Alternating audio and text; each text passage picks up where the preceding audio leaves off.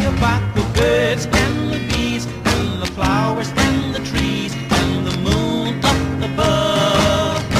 And a thing called